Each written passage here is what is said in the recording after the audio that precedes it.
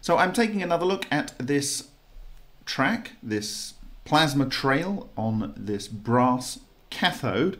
And from this angle, I'm going to uh, just do a quick focus shift between um, sort of near and far field so you can see the various zones.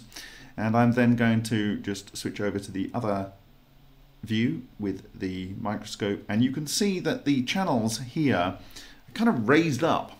They are, um, there's the flat area, but it's actually, it looks like it's partially dug in and raised up the material from the surface and potentially transmuted and that is something that we can look at under an SEM at a later date with uh, EDS.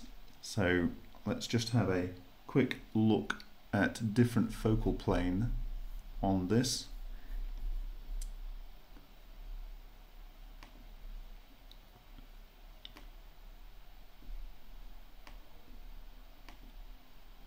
So you can see the area here. I can do that.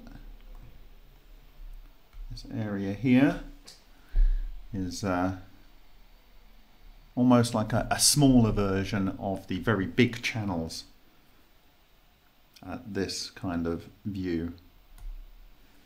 And uh, what I'm talking about, this area that is like half in and half out, but definitely raised from the surface, are, is this kind of area here.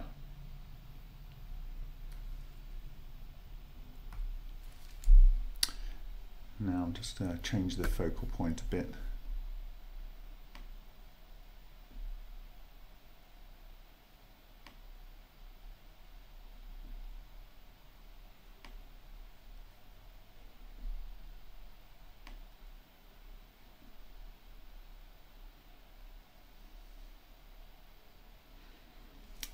So, as far as we understand it, there was a slight groove on this brass, and we had the sort of progression of the plasma coming down here, and then branches out.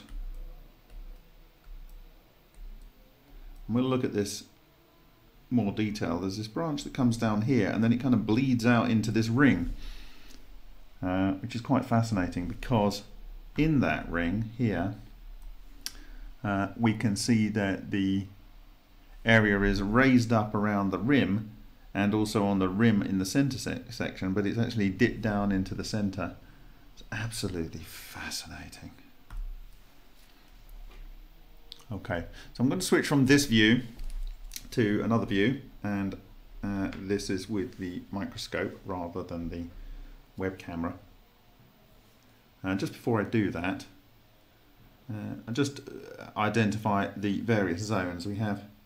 This is the one zone here is where there's no real change. There's this kind of line around here, this hard line. But there, is a slightly affected area here. Um, and then there's this region.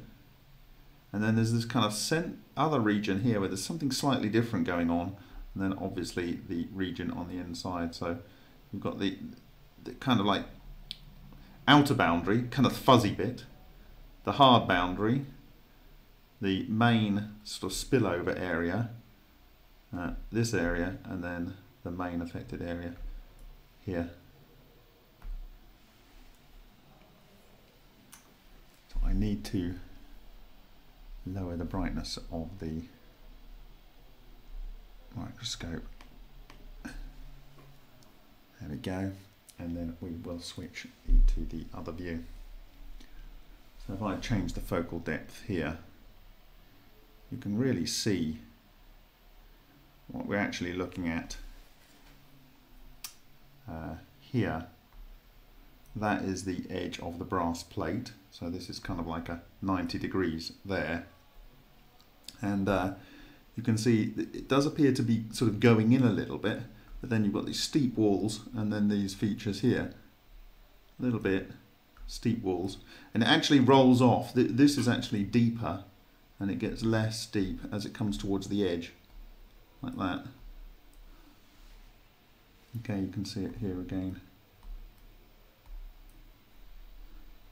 So it's when it goes into the depth down here, you can actually see this deep sides here and then the flat tops. But we'll be having a look at that from other angles as well. So thank you very much for your time.